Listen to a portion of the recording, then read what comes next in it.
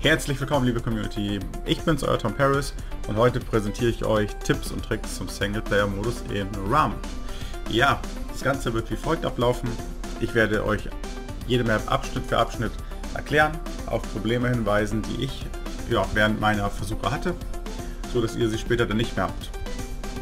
Ansonsten gebe ich euch auch noch Tipps und Tricks zu Stellen, die ein wenig knifflig sind. Das werde ich dann extra ansprechen.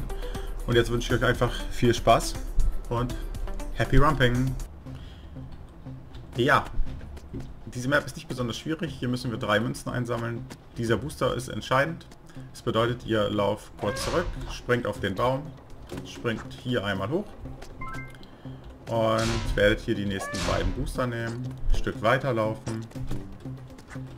Okay, das war jetzt falsch. Hier kommt man noch mit dem Einzelsprung drauf. Wobei, ja, wie gesagt, wenn ihr keine Zeit beim Springen verliert, dann ist es auch egal. Ähm, nur ich glaube, der Einzelsprung ist, glaube ich, besser. So, hier ist, kommt die erste knifflige Stelle in der Map. So, ihr müsst hier, also ihr seht das, ihr müsst hier rauf und mit dem Doppelsprung hier drauf, ja. Und hier ist es wichtig, den Absprungzeitpunkt zu finden. Das ist ungefähr beim ersten Stein. Ja, und dann einfach in den Fahrstuhl springen. Und das war's auch schon. Ja. Viel Spaß beim Nachmachen. Euer Tom.